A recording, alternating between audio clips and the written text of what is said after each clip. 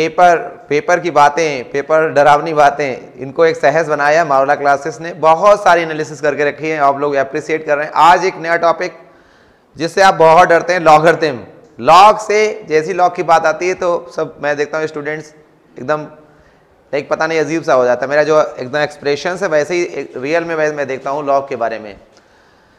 JNU का 2004 का logarithm का टॉपिक्स उसमें कुछ क्वेश्चंस हो गए इंपॉर्टेंट हो गए। पूरा पूरा सेशन आप देखिए। क्वेश्चंस चार हो या पाँच हो या तीन हो ये मैटर नहीं करते हैं। मैटर ये करते हैं कि उससे आपको टच मिलता है। एक फीलिंग आती है कि हमें किस तरीके के क्वेश्चंस करने हैं। तो जो भी एनालिसिस आ रहे हैं, आप ज़रूर ये देखें। ज़रूर ध्यान रखें कि जब भी आप कोई क्वेश्चन करेंगे, पढ़ते हैं तो पढ़ने का तरीका होता है। अगर आपने देखा है कि इस तरीके का क्वेश्चन आता है तो जब भी पढ़ेंगे तो उस तरीके कंटेंट ढूंढेंगे। तो एनालिसिस एक बार ज़रूर देखा करें, लास्ट तक कि क्वेश्चन की क्या वेराइटी क्या है। फिर उसके बाद आप पढ़े तो आपको उसी तरीके से क्वेश्चन पढ़ने को तो चलिए जेएनयू का पहला क्वेश्चन लॉगर्थम का 2004 में जो आया है, देखते हैं। Given that log of x square y square base ten की वैल्यू सिक्स दी गई है log of x upon y base ten two दिया गया है। दो एक्सप्रेशन दी गई है लॉग के टर्म में दी गई है। तो आपको सिंपल जैसे कहा ही देखा है एक्स और वाई तो एक्स और वाई निकालने होंगे। ऑप्शन सामने हैं आपके। कौन सा ऑप्शन आंसर बनेगा। और किस तरीके से आंसर आएगा, मुझे लगता है बहुत ही ईजी होगा, हो सकता है कि आपको लगे टफ है बट ऐसा है नहीं। नेक्स्ट स्टेप में देखते हैं, बातें तय होगी, एक ईजी है या टफ है? एक मेथड देखते हैं कॉमन सा मतलब जो सब लोग अप्लाई करें, एक उसके बाद शॉर्टकट भी देखेंगे। तो देख लें, यहाँ पे प्रॉपर्टी हमने सीधे लिख दी है, जो प्रॉपर्टी अब लॉक की लगेगी, वो सीधे सीधे अब लगी हुई प्रॉपर्टी बिल्कुल डेक्टो याद होनी चाहिए। इस प्रॉपर्टी को हमने यूज़ किया, यहाँ तक ले आए। रफ नहीं है, एक बार देख सकते हैं। इस प्रॉपर्टी को भी, देखो, ये वाली एक्सप्रेशन यहाँ सॉल्व की है, ये वाली एक्सप्रेशन यहाँ सॉल्व की है। अब हमने a plus b a minus b इसलिए मान लिया कि इसको ए मान लिया, इसको बी मान लिया। इसको ए मान लिया, इसको बी मान लिया। दो एक्सप्रेशन ए प्लस बी वाला थ्री ए माइनस बी वाला टू फटाफट सॉल्व किया फाइव बाई टू और वन बाई टू समझ रहेगा ना? अब log of x base ten five by two antilog ले गए। पावर फाइव बाई टू है। पावर फोर करेंगे तो टेन की पावर फोर आएगा, उसका रूट ले लेंगे। तो सॉल्व करके हंड्रेड रूट टू टेन आ जाएगा, आप सॉल्व कर सकते हैं। आ गया। किताब में दे सकते थे।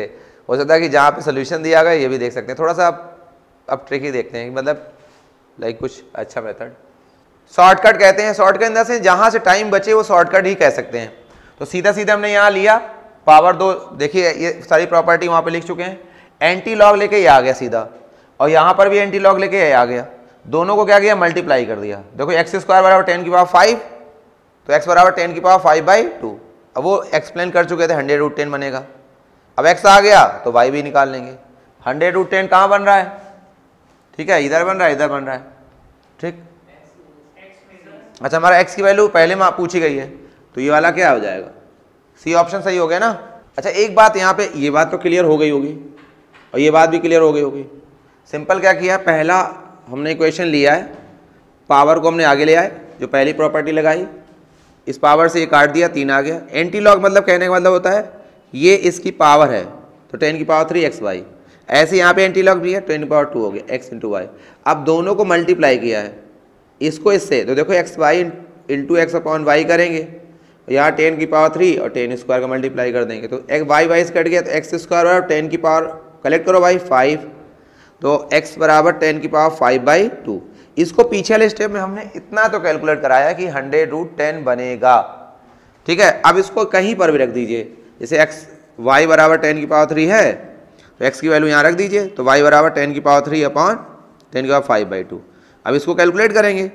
Three minus five by two तो छः में से पाँच गया one by two root ten x y आ गया। ये था कि बहुत ज़्यादा झंझट में नहीं पड़े एक बार आसानी से आंसर क्लियर हुआ, ठीक? देख लो भाई क्वेश्चन देख लो। लॉगर्थम का क्वेश्चन है, बहुत टफ रहता है, ऐसा कुछ है नहीं। लॉगर्थम को आप भाई बना लो अपना, नहीं तो ये लगा देगा लंका।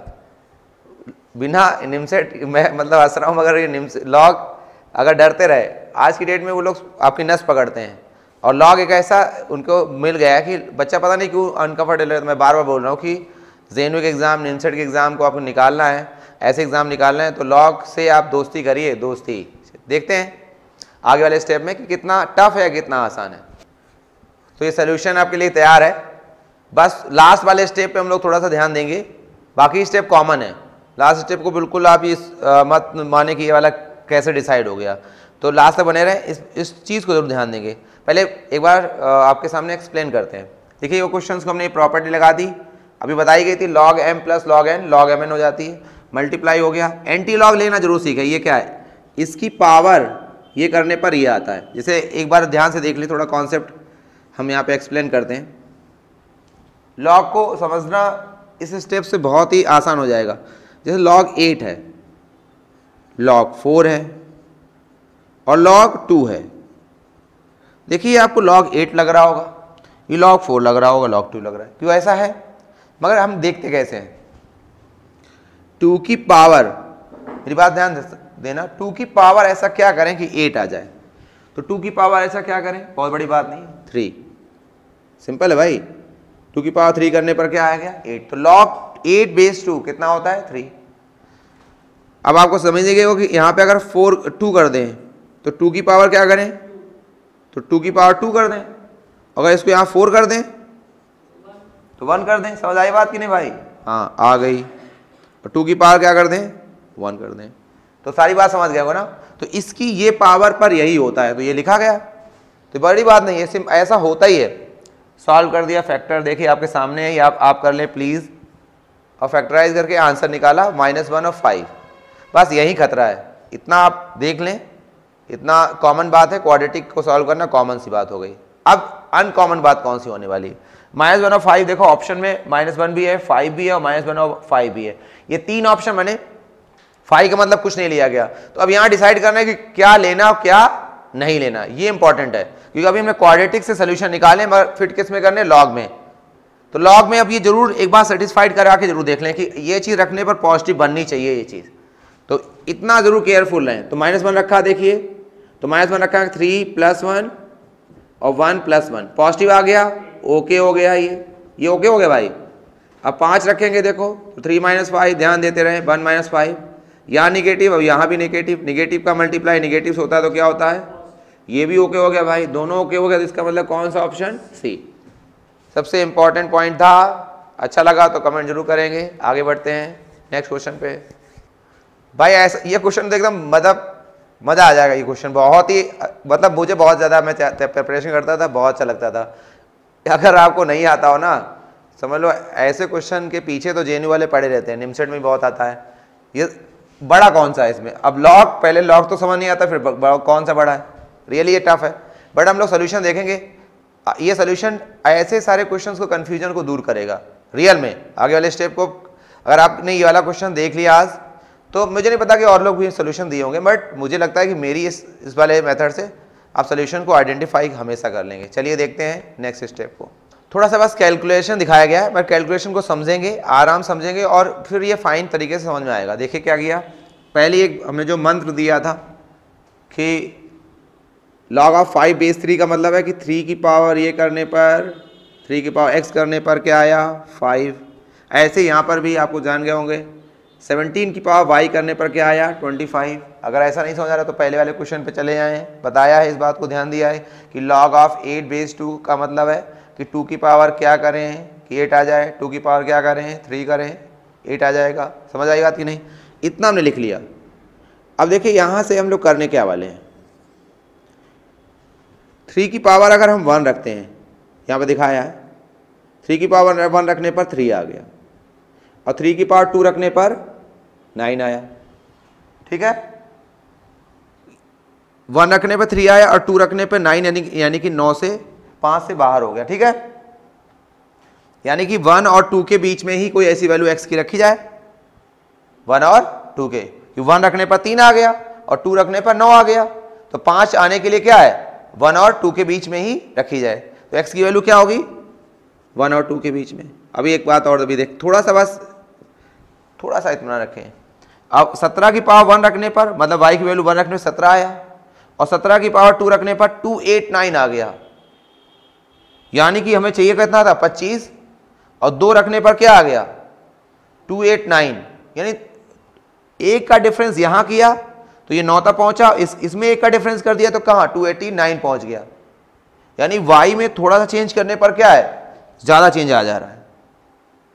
थोड़ा चेंज करने, और एक्स में थोड़ा चेंज करने में वाई का कंपेरिजन थोड़ा कम आ रहा है।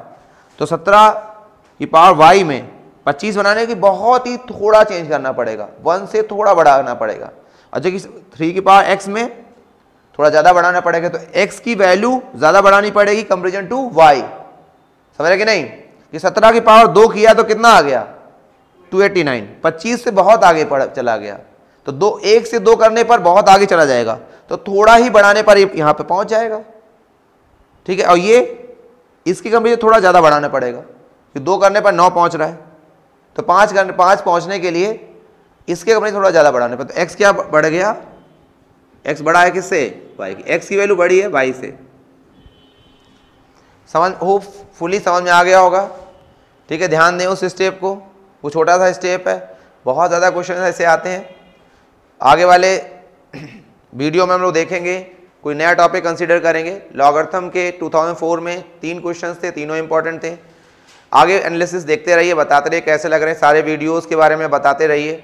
हम लोग आगे प्रयास करते रहेंगे। और मुझे अच्छा लगता है पेपर के क्वेश्चंस को डिस्कस करना, बहुत मज़ा आता है। कोई भी सोल्यूशन आपको, किसी भी समस्या, किसी भी तरीके समस्या में आप बने हुए हैं, लग रहा है कि कोई प्रॉब्लम है सोल्यूशन चाहिए। मावला क्लासेस आपका हमेशा साथ देगी हमेशा प्रयास करेगी। Thank you